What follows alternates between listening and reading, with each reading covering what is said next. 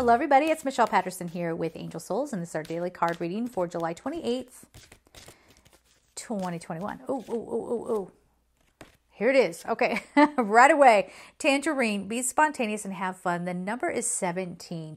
We have to schedule ourselves in for that sort of activity. You know, especially if you run your own business, that's what I do. I run my own business. It can be very, very hard if you're a sole proprietor, for example, uh, like I am, to be doing your own filming, editing, personal readings, doing your own bookkeeping, you know, trying to clean your house, trying to do your laundry, you know, all those things. And it, it can be difficult, or you, you might even feel guilty for taking a break. Let's say you're you're a mother or a father and you're running you're working full time and you're running around after the kids and you know you might feel guilty that you don't make enough time for fun with the kids.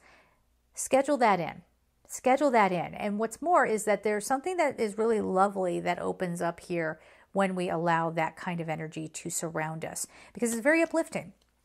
It's very uplifting. So, where can you be more childlike today? Where can you honor your inner child?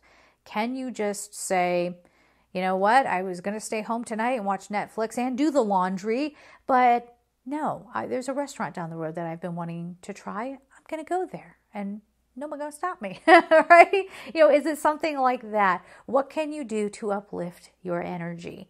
Give that some time and attention today. And as always, I'm sending you all so much love and take care.